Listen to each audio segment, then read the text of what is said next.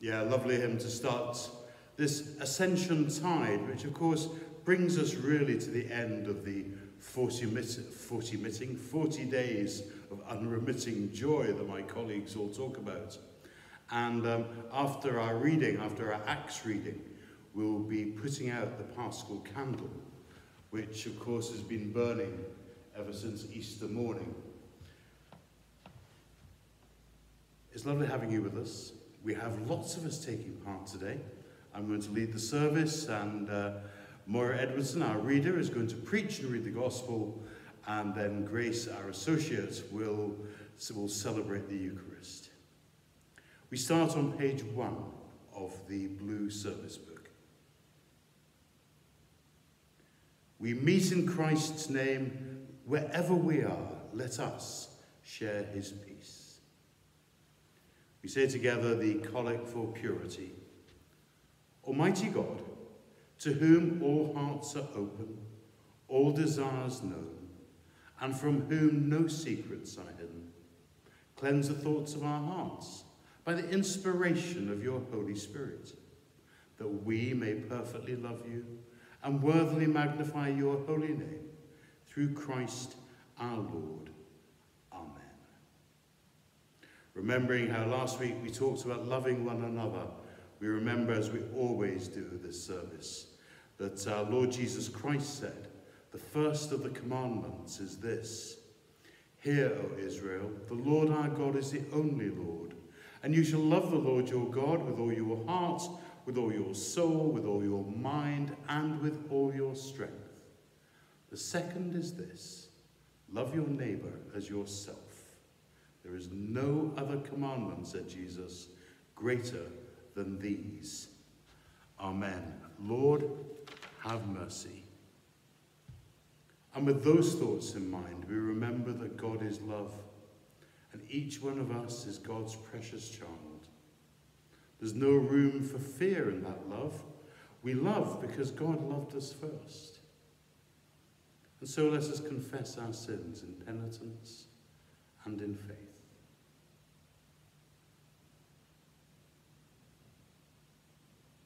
God our Father, we confess to you and to our fellow members in the body of Christ that we have sinned in thought, word, and deed, and in what we have failed to do.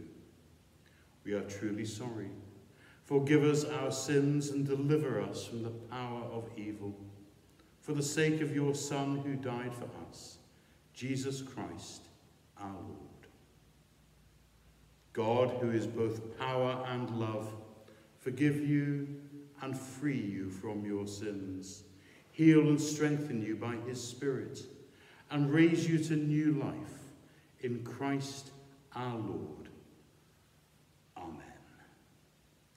The collect for this, the Ascension.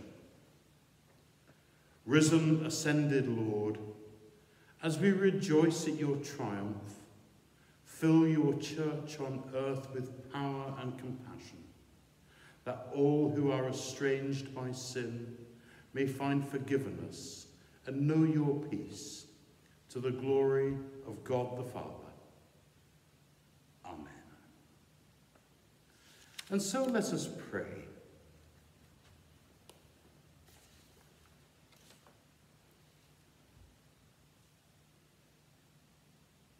Risen and ascended Lord, having lived in a strange world for the past 15 months, starved of human company and touch, separated from our loved ones, we can in some ways relate to how it must have felt for Jesus' disciples who gave up everything to follow him.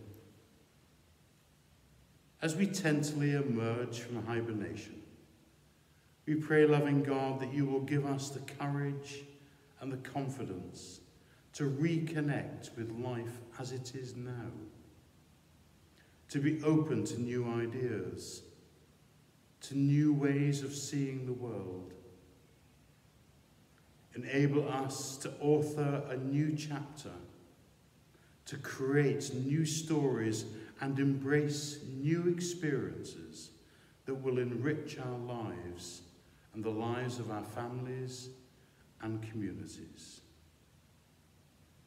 Lord, in your mercy, hear our prayer. Lord, right now, we're feeling pretty battered and bruised, in need of some loving care and attention, having had our hopes dashed so often. The scars of the last year are now visible.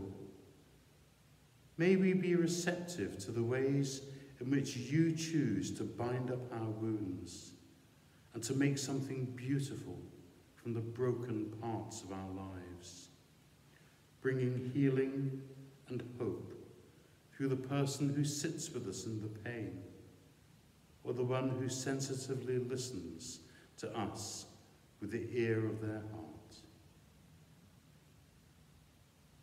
Lord, in your mercy, hear our prayer. Loving God, many of us have suffered the loss of those dear to us during the pandemic. Some are only able to say farewell, our final goodbyes, through a screen or via a telephone or FaceTime call. Bring comfort to those who are weighed down by grief, trying to deal with the roller coaster of emotions that grief and loss bring and help them readjust to the unfamiliar circumstances they find themselves in. Give strength to those who are weary, their energy sapped out as though to make it through each day. Those whose hearts are breaking. And we remember particularly at this time people in Israel and Palestine, people in India, people in Northern Ireland. All those places where wounds are being reopened and almost a feeling as if salt is being poured in. And so, God of peace, God help us to love one another. Lord, in your mercy, hear our prayer.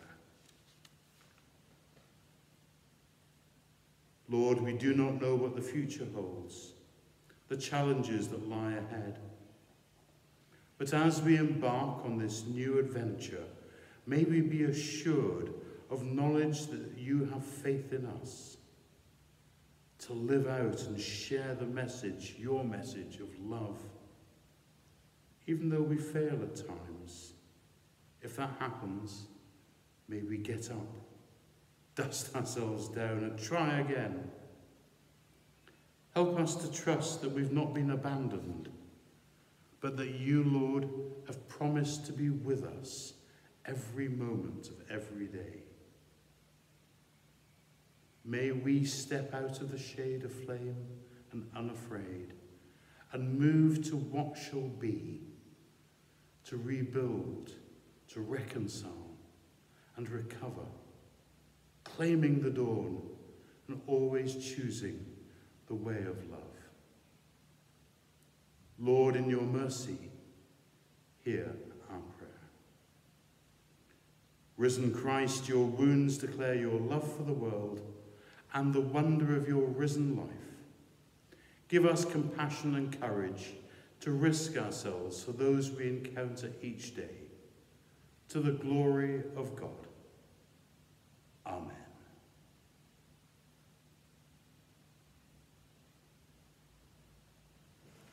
Reading from the book of Acts, the reading for Ascension, it's the first chapter, it's the first 11 verses.